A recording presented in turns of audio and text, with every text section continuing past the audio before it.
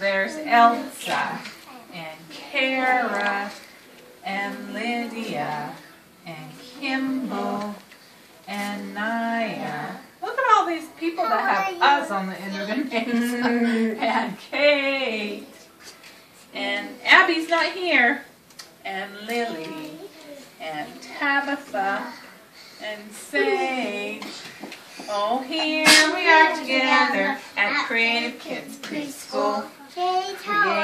Kids is where it's at. We learn a lot, you see. Like A, B, C's, and one, two, threes, and shapes like isosceles.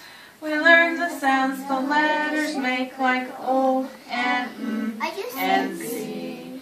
But best of all, we learn to great, and that's alright with me. I only saw a few people helping me sing today. I did. Did you help me? I did. I did. I did. I did. Okay, well let's see. I have some things up here I want to review. We're going to review our sight words.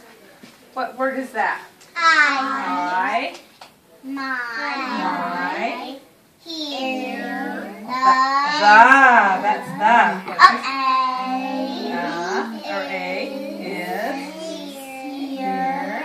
No. no. Okay, now here's our. With the sight words? Yeah, you, you, you don't need to help because you know them all, huh? Because she's smart. Okay, let's see. These are our diagrams. Who remembers this diagram? Mm. It says, and